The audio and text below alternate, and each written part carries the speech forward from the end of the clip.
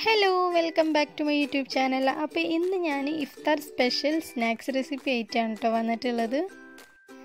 നമ്മൾ ഒരുപാട് പേര് നോമ്പിന് ഈ ഫ്രൈ ചെയ്തിട്ടുള്ള സ്നാക്സുകളായിരിക്കും ഉണ്ടാക്കുക. അപ്പോൾ ഞാനിന്നിവിടെ ബേക്ക് ചെയ്തിട്ടുള്ള ഒരു സ്നാക്കായിട്ടാണ് കാണിക്കുന്നത്.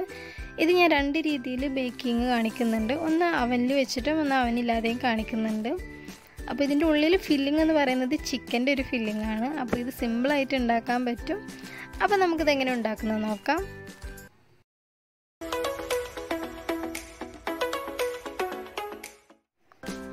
ഉണ്ടാക്കാനായിട്ട് ഫസ്റ്റ് മൂന്ന് കപ്പ് മൈദ എടുത്ത് വെക്കുക.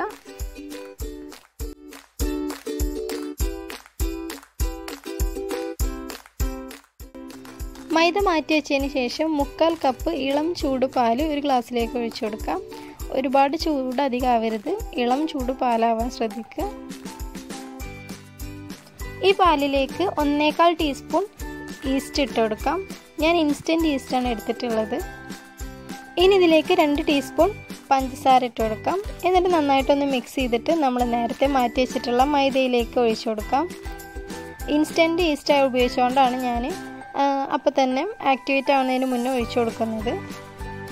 നിങ്ങൾ ഡ്രൈ ഈസ്റ്റ് എടുക്കുന്നെങ്കിൽ അത് ഞാനിപ്പോൾ നേരത്തെ കാണിച്ച പോലെ പാലിൽ മിക്സ് ചെയ്തിട്ട് ഒരു പത്ത് മിനിറ്റ് വെക്കണം. ഒന്ന് പൊങ്ങി വരുമ്പോൾ അത് നമുക്ക് മൈദയിലേക്ക് ആഡ് ചെയ്ത് കൊടുത്താൽ മതി. ഇനി ഇതിലേക്ക് ഞാൻ ഒരു ടേബിൾ സ്പൂൺ ഒലിവ് ഓയിൽ ചേർത്ത് കൊടുക്കുന്നുണ്ട്. നിങ്ങളുടെ കയ്യിൽ ഒലിവ് ഓയിൽ ഇല്ലാന്നുണ്ടെങ്കിൽ സൺഫ്ലവർ ഓയിലോ അല്ലെങ്കിൽ നോർമൽ ഏത് ഓയിലായാലും കുഴപ്പമൊന്നുമില്ല. അത് ഒഴിച്ചു കൊടുക്കാം. എന്നിട്ട് ഇതെല്ലാം കൂടെ നന്നായിട്ടൊന്ന് കുഴച്ചെടുക്കാം. ഇനി ഇതിലേക്ക് ഞാൻ ഒരു കാൽ ടീസ്പൂൺ ഉപ്പ് ചേർത്ത് കൊടുക്കുന്നുണ്ട്. ഉപ്പ് ഞാൻ നേരത്തെ ഇടാൻ മറന്നതാണ്. അപ്പോൾ നിങ്ങൾ മൈദ മാറ്റി വെക്കുന്ന ടൈമിൽ അതിലേക്ക് കുറച്ച് ഉപ്പ് ഇട്ടാൽ മതി. അപ്പോൾ ഈ ഒരു ടൈമിൽ ഇട്ട് വിചാരിച്ചിട്ട് കുഴപ്പമൊന്നുമില്ല. ഇനി ഇതിലേക്ക് ഞാൻ ഒരു ഇളം ചൂട് വെള്ളം ഒഴിച്ചിട്ട് എല്ലാം കൂടെ മിക്സാക്കി കുഴച്ചെടുക്കുന്നുണ്ട്. നമ്മുടെ ചപ്പാത്തി മാവിന് കുഴക്കുന്നതിനേക്കാളും ഒന്ന് ലൂസാക്കിയിട്ട് കുഴച്ചെടുക്കുക.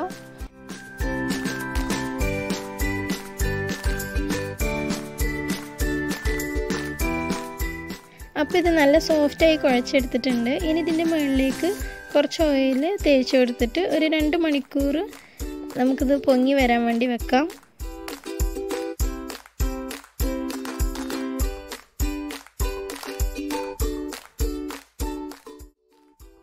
ഇതുപോലെ ഒരു നനഞ്ഞ കോട്ടൺ തുണി കവർ ചെയ്തിട്ട് വേണം റെസ്റ്റ് ചെയ്യാനായിട്ട് വെക്കാൻ അല്ലെങ്കിൽ മേൽഭാഗം ഡ്രൈ ആയി പോവും. ഇനി ഇതിന്റെ ഫില്ലിങ്ങിലേക്ക് ചെറുതാക്കി കട്ട് ചെയ്ത് വെച്ചിട്ടുള്ള ചിക്കൻ എടുത്തിട്ടുണ്ട്. ചിക്കൻ നമ്മൾ ഫ്രൈ ചെയ്തിട്ടാണ് എടുക്കുന്നത്. അപ്പോൾ ഈ ചിക്കനിലേക്ക് കുരുമുളക് പൊടി കുറച്ച് മഞ്ഞൾപ്പൊടി ആവശ്യത്തിനുള്ള ഉപ്പും കൂടെ ചേർത്തിട്ട് ഒന്ന് മാരിനേറ്റ് ചെയ്തിട്ട് ഫ്രൈ ചെയ്തെടുക്കാം.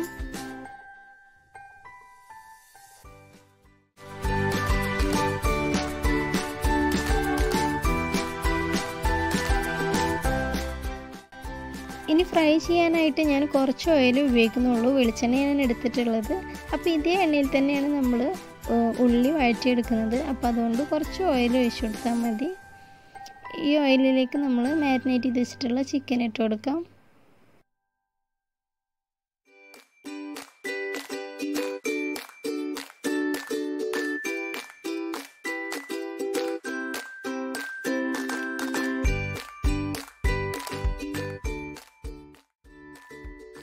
അപ്പോൾ ചിക്കൻ ഫ്രൈ ആയി വന്നിട്ടുണ്ട്. ഇനി ഇത് എണ്ണയിൽ നിന്ന് കോരിയെടുക്കാം. ചിക്കൻ ഫ്രൈ ചെയ്ത് വെച്ചിട്ടുള്ള ഓയിലിലേക്ക് തന്നെ വലിയ ഉള്ളി ചെറുതാക്കി കട്ട് ചെയ്ത് വെച്ചിട്ടുള്ളതാണ്. അത് ഇട്ട് കൊടുക്കാം. ഞാൻ നാല് വലിയ ഉള്ളി എടുത്തിട്ടുണ്ട്. അത് ഇതിലേക്ക് ഇട്ടിട്ടൊന്ന് വഴറ്റിയെടുക്കാം. ഉള്ളിയൊക്കെ ഒന്ന് പെട്ടെന്ന് വാടാൻ വേണ്ടിയിട്ട് ഞാൻ കുറച്ച് ഉപ്പിട്ടിട്ടാണ് വഴറ്റിയെടുക്കുന്നത്. ഒരുപാട് വഴറ്റിയെടുക്കേണ്ട ആവശ്യമൊന്നുമില്ല. ജസ്റ്റ് ഒന്ന് വാടി വരുമ്പോൾ ഇതിലേക്ക് പൊടികളൊക്കെ ചേർത്ത് കൊടുക്കാം.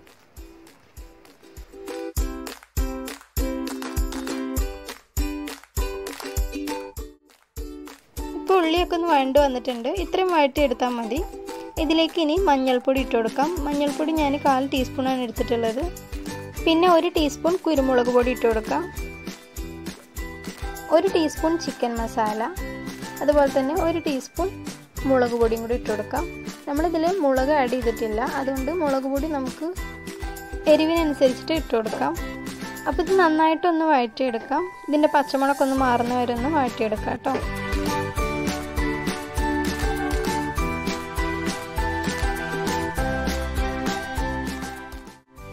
അപ്പോൾ ഇത് പച്ചമണമൊക്കെ ഒന്ന് മാറുന്ന വരെ വഴറ്റിയെടുത്തിട്ടുണ്ട്. ഇനി ഇതിലേക്ക് ഞാൻ ഒരു ടേബിൾ സ്പൂൺ ടൊമാറ്റോ സോസ് ഒഴിച്ചു കൊടുക്കുന്നുണ്ട്. ഇത് നിങ്ങളുടെ കയ്യിലുണ്ടെങ്കിൽ ഒഴിച്ചു കൊടുത്താൽ മതി. ഇല്ലാന്നുണ്ടെങ്കിൽ ഒരു തക്കാളി ഒന്ന് പേസ്റ്റ് ആക്കിയിട്ട് അതൊന്ന് ഒഴിച്ചു കൊടുത്താൽ മതി. ഇതിലേക്ക് ഇനി ചെറിയൊരു കഷ്ണം ക്യാബേജ് അരിഞ്ഞു വെച്ചിട്ടുള്ളതും കൂടെ ഇട്ട് കൊടുക്കാം.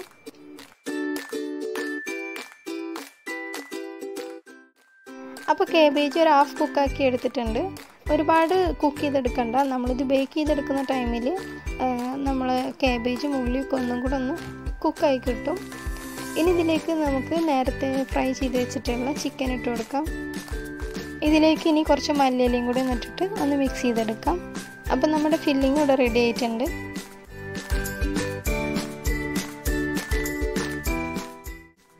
അപ്പം നമ്മൾ നേരത്തെ കുഴച്ച് വെച്ചിട്ടുള്ള മൈദ ഒരു രണ്ട് മണിക്കൂറായപ്പോഴത്തേക്കും പൊങ്ങി വന്നിട്ടുണ്ട്.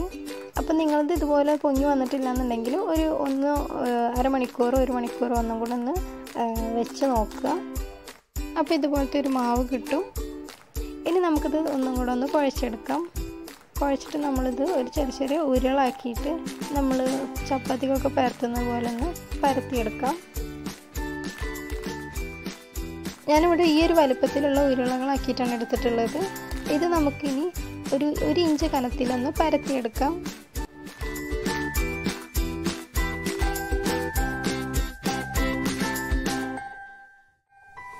വലുപ്പത്തിൽ പരത്തിയെടുത്താൽ മതി. ഇനി ഇതിന്റെ സൈഡൊക്കെ ഒന്ന് നമുക്കൊന്ന് മുറിച്ചിട്ട് ഒരു ചതുരത്തിലാക്കിയെടുക്കാം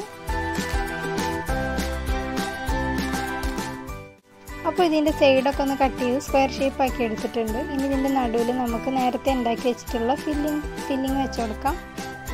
ഇനി ഇതിന്റെ നാല് ഭാഗം കൂടെ ഒന്ന് നടുവിലാക്കി വെച്ചിട്ടൊന്ന് ഒട്ടിച്ചു കൊടുക്കാം. നമ്മൾ കൈ കൊണ്ട് തന്നെ ഒന്ന് പ്രസ് ചെയ്താൽ അവിടെ അത് ഒട്ടി നിൽക്കും കേട്ടോ വേറെ വെള്ളം വെള്ളം വെച്ച് ഒട്ടിക്കേണ്ട ആവശ്യമൊന്നുമില്ല. നമ്മൾ പപ്സൊക്കെ ഉണ്ടാക്കുന്ന പോലെ ഇതിന്റെ നാല് ഭാഗം നാല് മൂലകളൊന്ന് വെച്ചിട്ടൊന്ന് പ്രസ് ചെയ്ത് കൊടുത്താൽ മതി. ഇനി ഇതുപോലെ എല്ലാ മാവ് വെച്ചിട്ടും ചെയ്തെടുക്കാം. ഫസ്റ്റ് ഞാൻ അവനിൽ വെക്കുന്നതാണ് കാണിക്കുന്നത്. അപ്പോൾ അതിന് വേണ്ടിയിട്ട് ബേക്കിംഗ് ട്രേയിലേക്ക് ഞാനൊരു ബട്ടർ പേപ്പർ വെച്ച് കൊടുത്തിട്ടുണ്ട്. ഇതിന്റെ മുകളിൽ നമുക്ക് കുറച്ച് ഓയിൽ തേച്ച് കൊടുക്കാം. അപ്പോൾ ഞാൻ ഈ ഒരു ട്രേയിലേക്ക് നാല് പപ്സാണ് വെച്ചെടുത്തിട്ടുള്ളത്. അപ്പം അപ്പോൾ നിങ്ങൾക്ക് അഞ്ചെണ്ണം ആറെണ്ണമൊക്കെ വെച്ചെടുക്കാം. ചെറിയൊരു ഗ്യാപ്പ് വിടണമെന്ന് മാത്രമേ ഉള്ളൂ.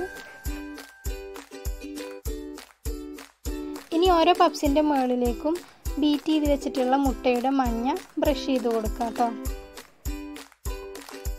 നമ്മുടെ സ്നാക്സിന്റെ മേൾഭാഗം കുറച്ച് ഗോൾഡൻ ബ്രൗൺ കളർ വരാൻ വേണ്ടിയിട്ടാണ് ഇങ്ങനെ ചെയ്യുന്നത്.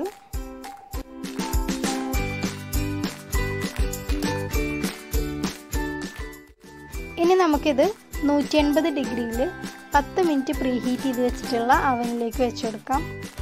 ഒരു പതിനഞ്ച് ടു ഇരുപത് മിനിറ്റ് ആകുമ്പോഴത്തേക്കും ഇത് ബേക്കായി വരും. ഇനി ഞാൻ ഗ്യാസ് സ്റ്റോപ്പിൽ വെക്കുന്ന രീതിയാണ് കാണിക്കുന്നത്. അപ്പോൾ അതിന് വേണ്ടിയിട്ട് ഒരു നോൺ സ്റ്റിക്ക് പാൻ എടുത്തിട്ട് അതിലേക്ക് കുറച്ച് ഓയിലൊന്ന് സ്പ്രെഡ് ചെയ്ത് കൊടുക്കാം. എന്നിട്ട് നമ്മുടെ ഓരോ സ്നാക്സ് അതിലേക്ക് വെച്ച് കൊടുക്കാം കേട്ടോ. ഇതിന്റെ മുകളിലും മുട്ടയുടെ മഞ്ഞ തേച്ചെടുക്കണം കേട്ടോ.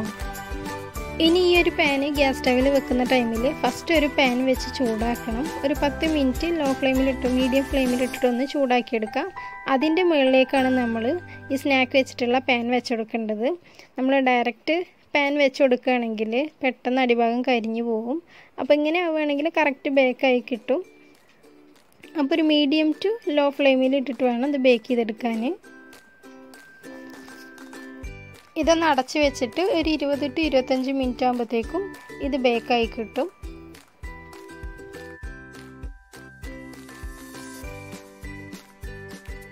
അപ്പോൾ അവനിൽ വെച്ചത് ബേക്കായി വന്നിട്ടുണ്ട്. നല്ല സോഫ്റ്റ് ആയിട്ട് തന്നെ കിട്ടിയിട്ടുണ്ട്. ഇതിന്റെ ഉള്ളിലുള്ള ഫില്ലിങ് നിങ്ങൾക്ക് ഇഷ്ടമുള്ളത് കൊടുക്കാം. ബീഫ് വെച്ചിട്ടാണെങ്കിലും അതുപോലെ മുട്ടയൊക്കെ വെച്ചിട്ടും ചെയ്യാൻ പറ്റും. അപ്പോൾ നമ്മൾ സ്റ്റൗവിൽ വെച്ചിട്ടുള്ളത് ബേക്കായി വന്നിട്ടുണ്ട്. ഇത് നമ്മൾ അവനിൽ വെക്കുന്ന അത്ര കളർ വന്നിട്ടില്ല. എന്നാലും നമ്മൾ കഴിക്കുമ്പോൾ സെയിം ടേസ്റ്റ് തന്നെയാണ് ഉള്ളത്. കളർ മാത്രമില്ല എന്നുള്ളൂ അപ്പോൾ ഓയിലൊന്നും ഉപയോഗിക്കാതെ ഉണ്ടാക്കാൻ പറ്റുന്ന അടിപൊളി ഇഫ്താർ സ്നാക്കാണ് കേട്ടോ ഇത്. അപ്പോൾ എല്ലാവരും ഇതൊന്ന് ട്രൈ ചെയ്ത് നോക്കുക ട്രൈ ചെയ്തിട്ട് നിങ്ങളുടെ അഭിപ്രായങ്ങളൊക്കെ താഴെ കമന്റിലൂടെ അറിയിക്കണം. പിന്നെ ഈ വീഡിയോ ഇഷ്ടപ്പെടുകയാണെങ്കിൽ ലൈക്ക് ചെയ്യാനും ഷെയർ ചെയ്യാനും സബ്സ്ക്രൈബ് ചെയ്യാനും മറക്കരുത്. താങ്ക്